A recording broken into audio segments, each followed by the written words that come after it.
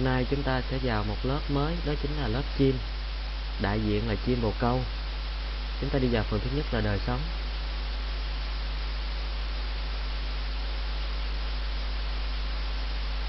Dựa vào thông tin ở sách giáo khoa, Các em hãy trình bày một số đặc điểm về đời sống của chim bồ câu. Chẳng hạn như tổ tiên, Đặc điểm về đời sống, Đặc điểm về sinh sản.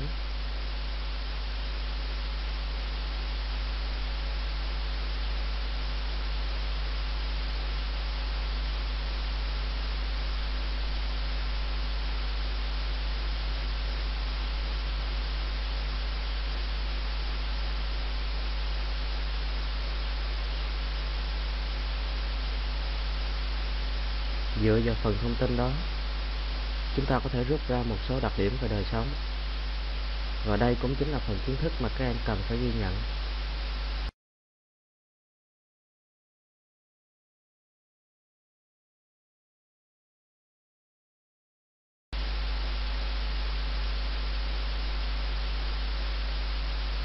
Ở các tiết học trước, chúng ta đã tìm hiểu về lớp cá, lớp lưỡng cư, lớp bò sát. Vậy thì thân nhiệt của những lớp động vật này là biến nhiệt hay hàng nhiệt?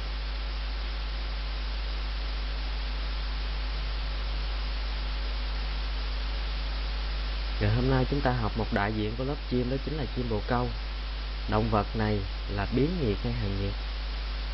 Thì qua phần đời sống, các em mới vừa tìm hiểu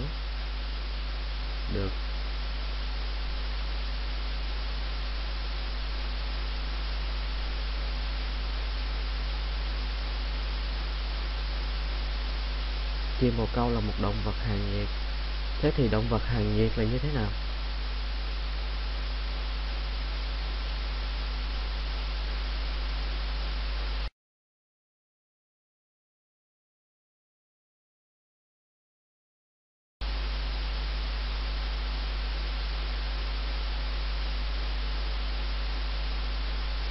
Chúng ta tiếp tục so sánh về đặc điểm sinh sản của chim bồ câu và thằn lằn bóng đuôi dài từ đó sẽ thấy được ý nghĩa của sự tiến hóa.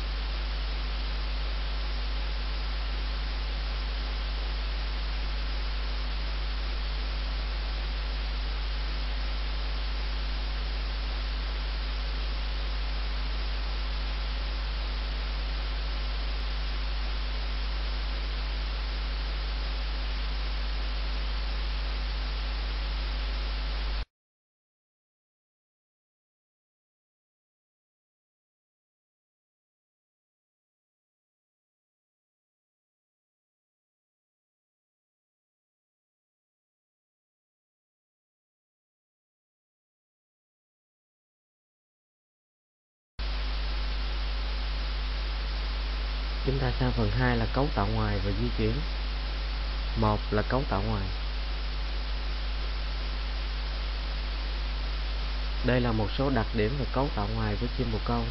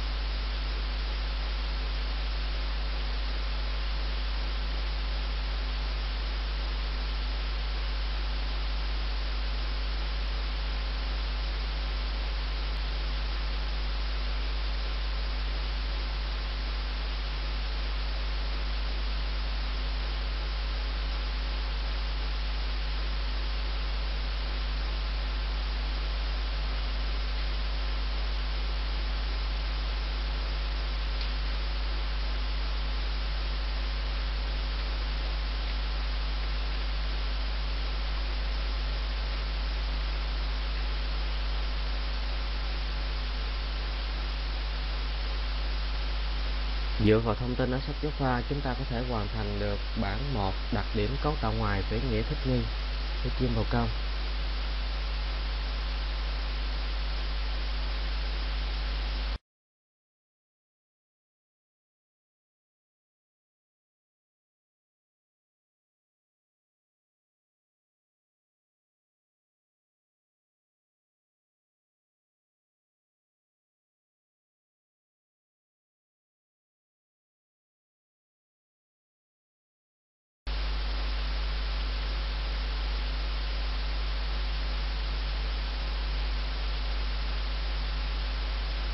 Vậy thì chúng ta sẽ chốt lại những đặc điểm cấu tạo ngoài nào của chim bồ câu, thích nghi với đời sống bay lượn.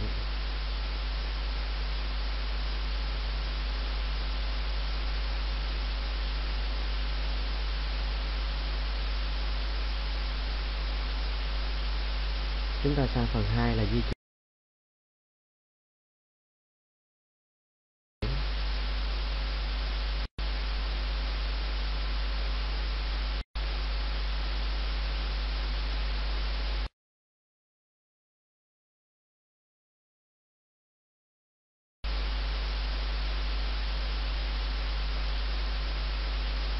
Các em sẽ quan sát hình và so sánh kiểu bay, vỗ cánh và kiểu bay lượn.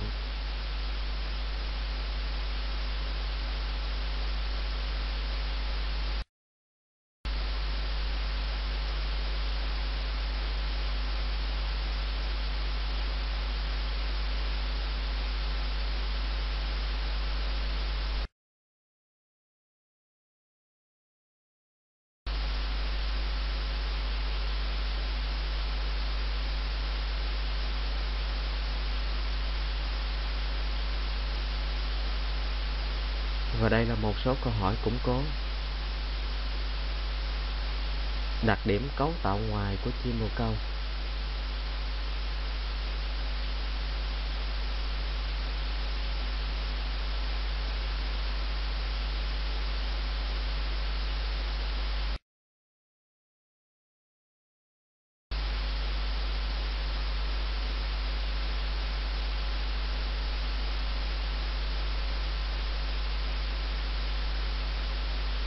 Điện từ hoặc cụm từ thích hợp.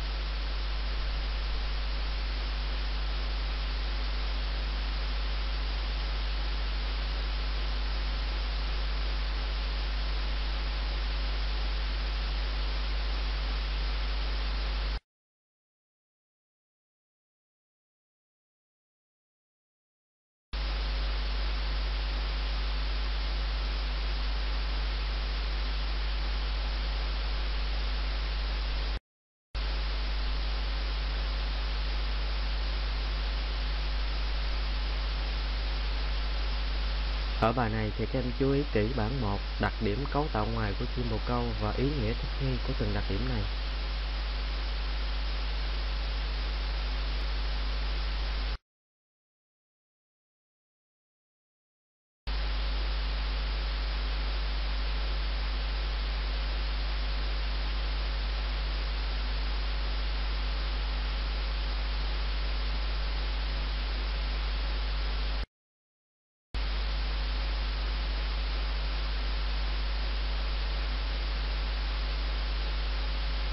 Số thông tin ở mục em có biết.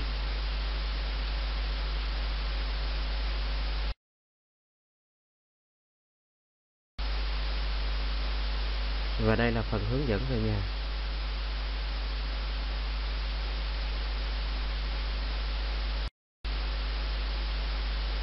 Chào các em, chúc các em học tốt.